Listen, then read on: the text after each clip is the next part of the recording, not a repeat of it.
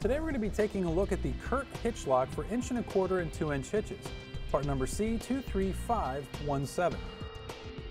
This Curt receiver lock is pretty unique in that it keeps your accessories such as your bike racks, your cargo carriers, and your ball mounts secure in both your two inch hitches or inch and a quarter hitches, meaning you can use this for multiple style vehicles.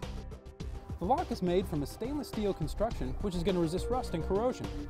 It comes with a dust cap which is going to keep road dirt and grime out of the lock and also prevent corrosion of the lock as well. The lock is easy to use with a quarter turn activation and it comes with two keys for this application. Now that we've gone over some of the features of the lock, let's go ahead and go over some of its dimensions.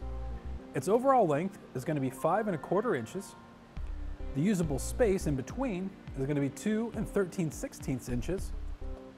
And then the diameter can be a 5 8 inch that you see here, or we remove our lock, remove the sheath, and now it's a half inch. Now I'll show you how to use the lock in a typical application. We'll take our bike rack here, put it into our hitch, and it does need a lock application for it. Now we'll take our one lock end, making sure that the 5 8 sheath is put in place. Push that through one side, onto the other.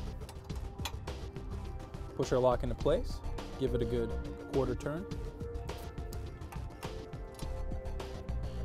Now it's locked in and secured to our vehicle.